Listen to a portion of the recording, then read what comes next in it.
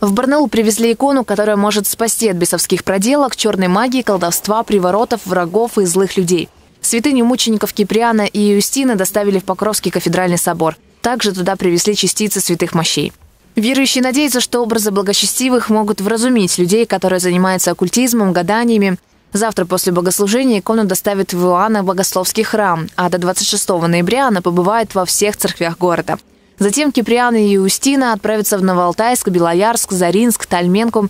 8 декабря икона покинет пределы Алтайского края.